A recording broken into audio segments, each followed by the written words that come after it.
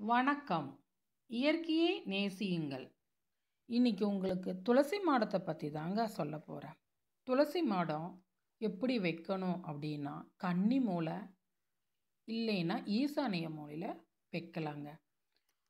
துளசி இலை மிகவும் பரிசுத்தமானதுங்க. இது ஒரு தேவ மூலிகைன்னு கூட சொல்லுவாங்க. துளசி இருக்கிற இடம் பிருந்தாவனம் அப்படின்னு சொல்லுவாங்க. மகாலட்சுமி வாசம் செய்கிற இலை துளசி இலைங்க.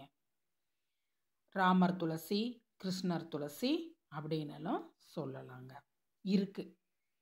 இப்போ இன்னைக்கு துளசி மாடத்தை பற்றி தாங்க நான் சொல்ல போகிறேன் நாம் வீட்டில் துளசி மாடம் தூய்மையான இடத்துல வைத்து வழிபட்டு வந்தால் குடும்பத்துக்கு நல்லதுங்க.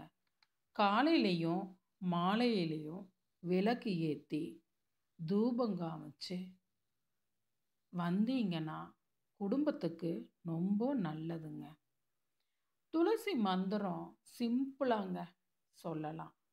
இன்னொன்று ஒவ்வொரு வீட்லேயும் துளசி மாடம் அவங்கவுங்க வீட்டுக்கு வசதிக்கு ஏற்ப துளசி மாடம் அமைத்து வழிபாடு செய்யலாங்க.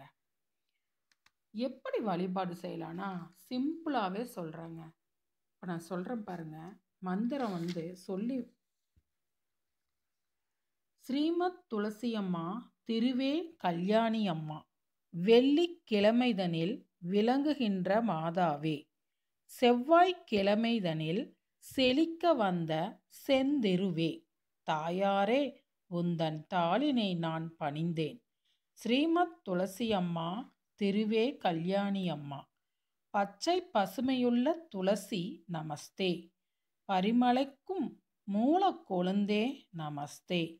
அற்ப பிறப்பை தவிர்ப்பாய் நமஸ்தே. அஷ்ட ஐஸ்வர்யம் அளிப்பாய் நமஸ்தே. ஹரியுடைய தேவி அழகி நமஸ்தே.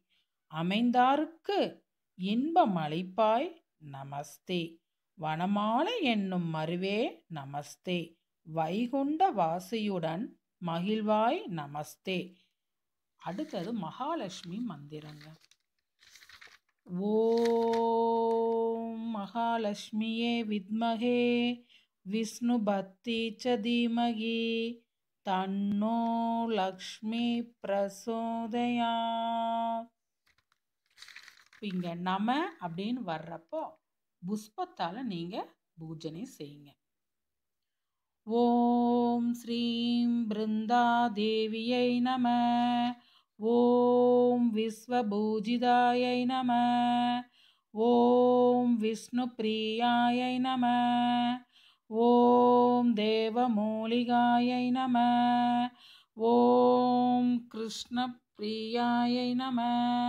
ஓம் சௌபாக்கிய நிலாயை நம. ஓம் கிருஷ்ண பிரியாயை நம.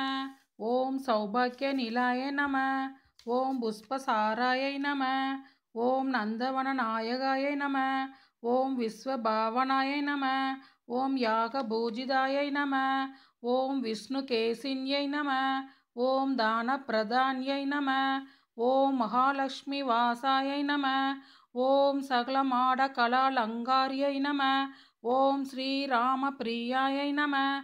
ஓம் ஸ்ரீ துளசி தேவியை நம. இந்த மாதிரி படிச்சுட்டுங்க தீப தூபாதனை காட்டிட்டு தினந்தோறும் வழிபட்டு வந்தால் குடும்பத்துக்கு ரொம்ப நல்லது. இந்த வீடியோ உங்களுக்கு பிடிச்சிருந்ததுன்னா ஷேர் பண்ணுங்கள் சப்ஸ்கிரைப் பண்ணுங்கள் நன்றி வணக்கம். Mm.